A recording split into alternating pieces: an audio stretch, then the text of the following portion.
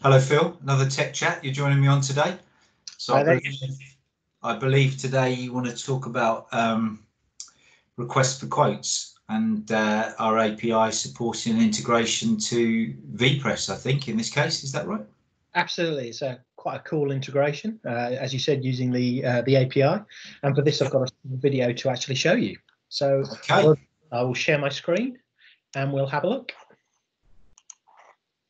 So let me just fire it up, and we can see that actually operational.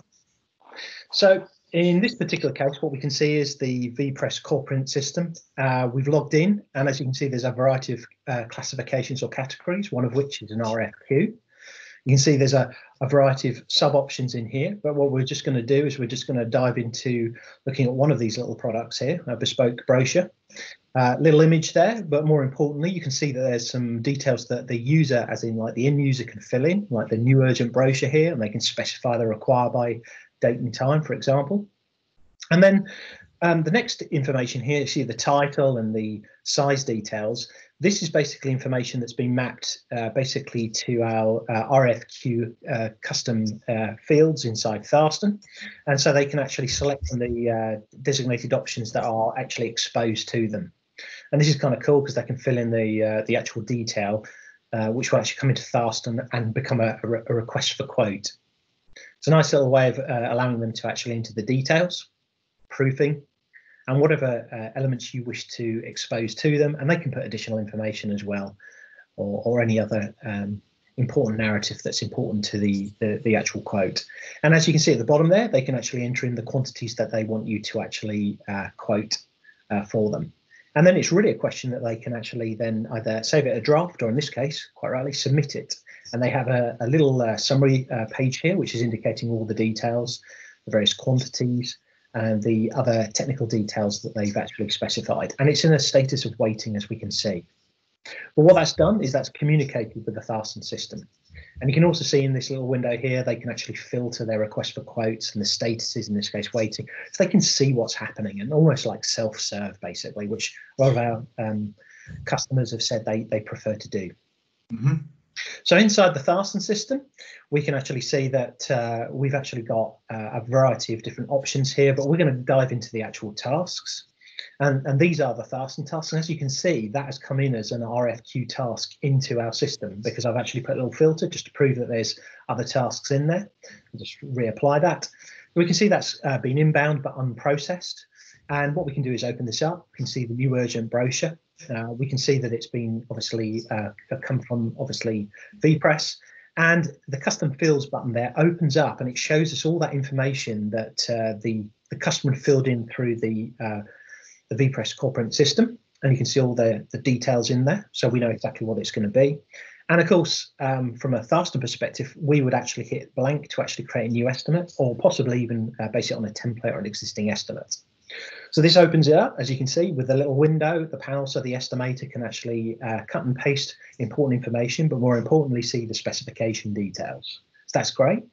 And they're, they're going through the conventional system of actually choosing the classification and product type that relates to that, obviously putting in um, the quantities uh, that are actually required. So this is what we're just doing here.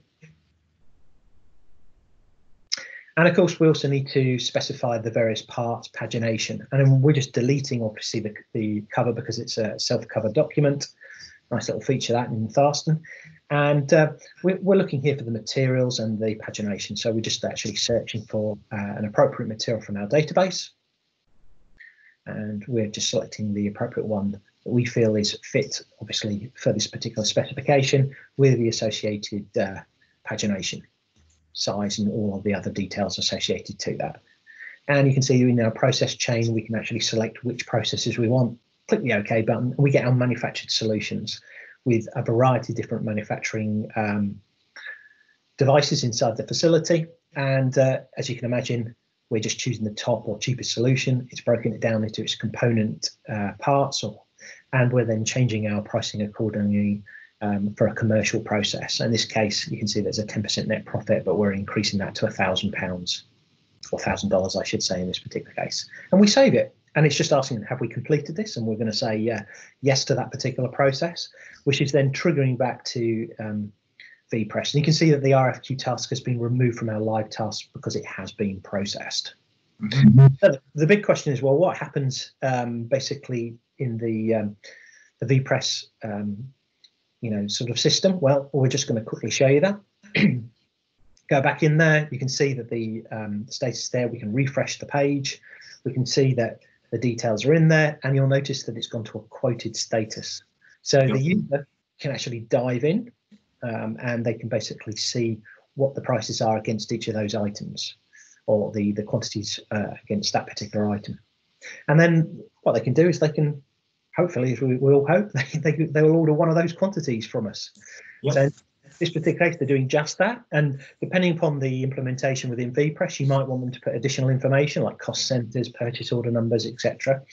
And they then add this to their basket, like so.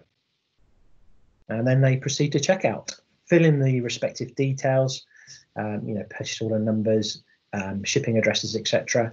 And they submit that, and that becomes an order. In this case, order 112. But that also sends messages back to Tharstern to actually convert that estimate into a job. Yeah, really good. So, so you're demonstrating this a lot, Phil. What, what, what's the kind of business challenges or, or business aspirations, if you like, you, you, you're trying to solve with this, with the prospects and customers you're demonstrating it to? Well, uh, in principle, is that some of um, our customers, end customers, want to self-serve. They they just want to be able to put the details in uh, yep. for it to go through that that storefront portal and then for it to be actually be uh, processed by the printing company without uh, any communication at all. Um, some of the, some of the end users want to to work in that fashion, but equally we've also seen applications where um, our customers have, have actually deployed this for their their sales staff as well to do it on behalf of their customers, uh, and that's a, from a, you know a remote deployment perspective. And I, am just going to quickly uh, finish off the uh, video if you don't mind, just to show the last final part, and you can actually see now that we're diving into the uh, the job system, and you can see our urgent brochure. What other type is there?